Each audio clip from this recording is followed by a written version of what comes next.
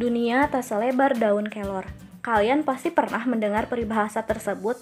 Nah, bagi yang belum tahu bentuk daun kelor itu seperti apa, ini dia bentuknya. Jadi, hari ini aku mau masak menu buka puasa dengan menggunakan bahan daun kelor ini.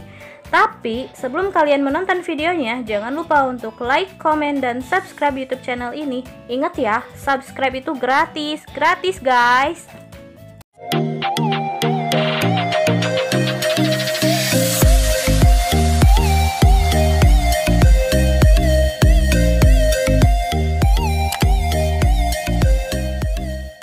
Bahan yang pertama, kita iris tipis kolnya terlebih dahulu. Kemudian, siapkan 250 gram terigu atau sekitar seperempat kilogram. Kemudian, kita siapkan daun kelor secukupnya. Nah, bagi yang penasaran rasa daun kelor itu seperti apa, aku jelasin di sini ya.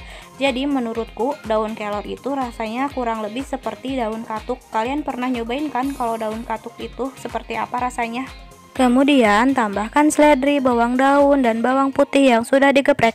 Ini sih sesuai selera masing-masing aja ya guys. Kalau nggak suka tinggal di skip aja. Garam secukupnya. Lalu masukkan air dan aduk hingga rata. Kalau di daerahku, nama makanan ini biasa disebut bala-bala atau bakwan. Nah, kalau di daerah kalian, apa nama makanan ini? Nanti tulis di kolom komentar ya. Tahukah kalian, ternyata daun kelor ini memiliki banyak manfaat untuk kesehatan tubuh kita. Salah satunya yaitu kaya antioksidan, menurunkan kadar gula darah, menurunkan kolesterol, dapat membantu mengatasi kanker, mencegah anemia, memberi nutrisi untuk tubuh, meredakan peradangan, baik untuk jantung dan baik juga untuk daya ingat. Wow, banyak sekali ya manfaat daun kelor ini. Selain itu, dengan menambahkan daun kelor ke adonan bakwan ini, nantinya akan membuat tekstur bakwan menjadi lebih crispy dan gurih. Dan tentunya sehat dong, karena memiliki banyak manfaat akan tubuh kita. Menu yang kedua, aku akan membuat tumis jamur kancing. Ini dia bahan-bahannya. Ada tomat, bawang merah, bawang putih, daun bawang, seledri, dan tentunya jamur kancing. Nah, untuk menu yang ketiga, aku akan membuat bihun goreng. Ini dia bahan-bahannya. Ada kol, kita iris tipis-tipis kolnya. Kemudian, sosis. Kalian bisa potong sosis ini sesuai dengan selera kalian masing-masing ya.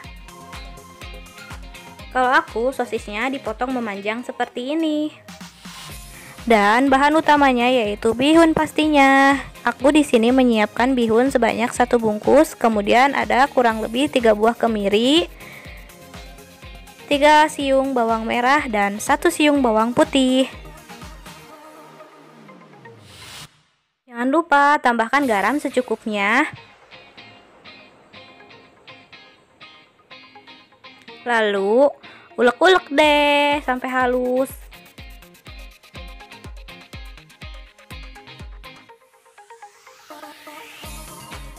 Kemudian tambahkan tomat setengah aja supaya nanti rasanya tidak terlalu asam. Tapi ini tergantung selera sih, gimana kalian aja, suka-suka kalian aja gitu. Kalau aku, aku masaknya biasanya suka pakai filling gitu guys. Jadi aku nggak pernah pakai takaran-takaran kayak gitu. Nah, sekarang kita mulai memasak bakwannya. Yang pertama, panaskan minyak terlebih dahulu. Kalau minyak sudah panas, masukkan adonan bakwan ke dalam kuali.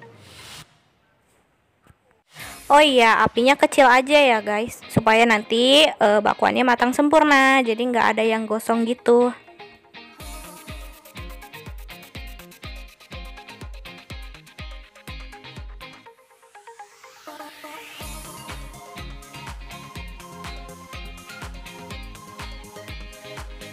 Nah, sekarang kita akan memasak tumis jamur kancing. Pertama-tama, masukkan bawang merah dan bawang putih ke dalam minyak yang sudah panas. Lalu, aduk-aduk deh sampai harum.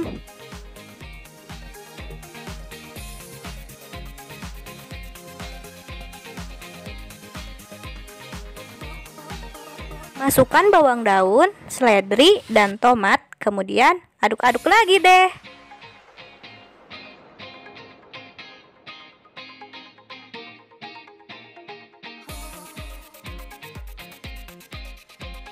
Kemudian kita masukkan jamur kancingnya.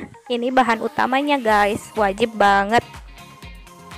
Aduk-aduk lagi.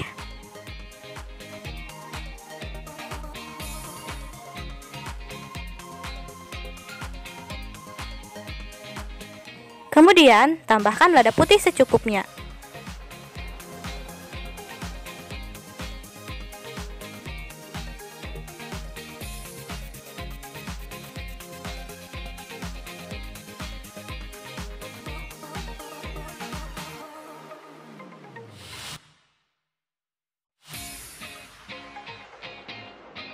Jika dirasa sudah cukup matang, kita siapkan wadahnya. Kemudian, tumis jamur kancing sudah siap disajikan.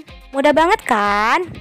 Jadi, masakan ini bisa menjadi referensi kalian yang bingung hari ini mau buka puasanya sama apa ya? Tara, ini dia hasilnya.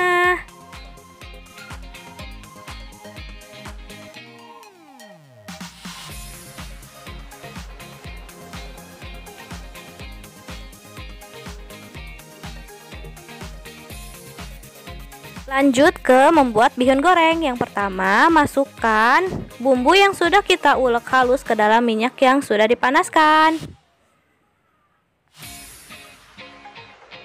Aduk-aduk, biarkan sampai harum.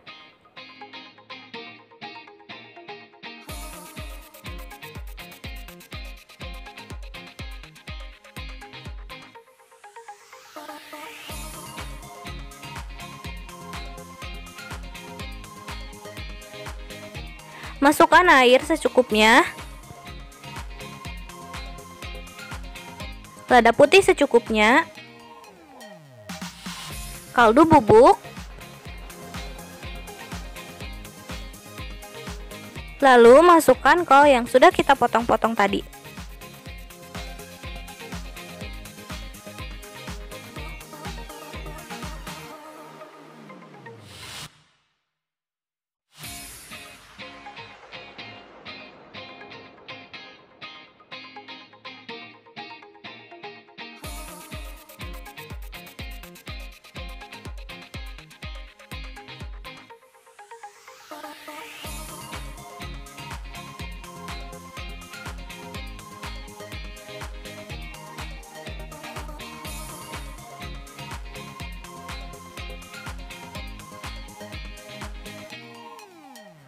Masukkan bawang daun.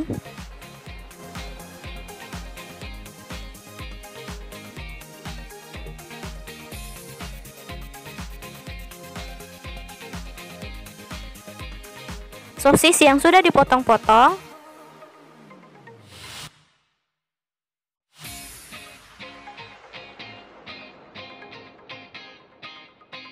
Aduk-aduk sampai rata.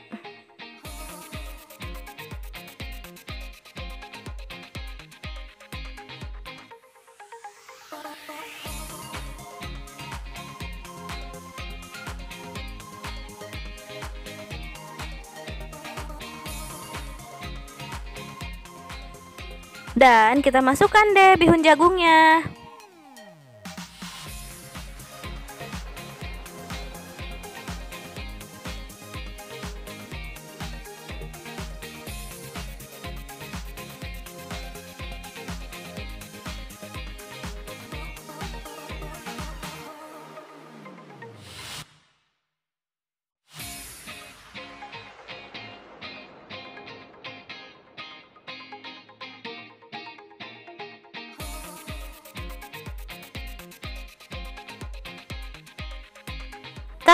Ini dia hasilnya. Bihun goreng sudah siap disajikan.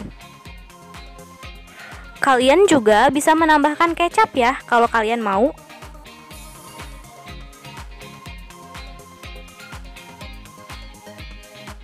Dan ini dia bakwan daun kelornya. Bintang utama menu buka puasa kita hari ini. Soalnya kalau buka puasa tanpa bakwan itu rasanya kayak gimana gitu ya. Ini dia menu buka puasaku hari ini. Kalau kalian menu buka puasanya apa? Oh iya, jangan lupa awali buka puasamu dengan yang manis-manis sesuai dengan anjuran Nabi Muhammad SAW yaitu dengan memakan buah kurma. Cukup sekian videoku kali ini. Terima kasih untuk semua yang sudah menonton. Semoga bermanfaat untuk kalian semua. Khususnya bagi kalian yang sedang mencari referensi menu berbuka puasa yang murah dan simple.